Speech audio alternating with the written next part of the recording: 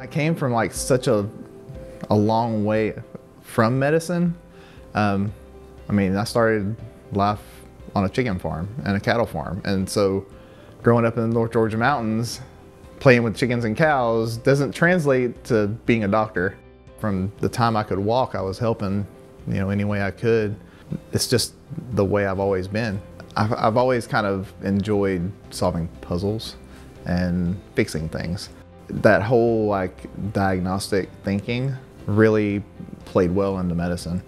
In order to leave a career, you know, that's well established and, and, and you have a comfortable life with, um, to jump ship and start basically all over again and just be a full-time student and, and start in a new career, you need to have a pretty good idea that's what you want to do.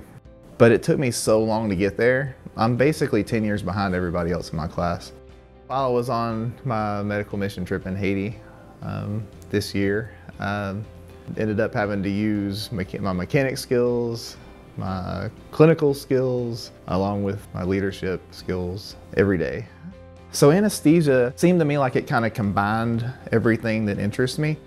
You're actually there in the patient's probably most dire hours.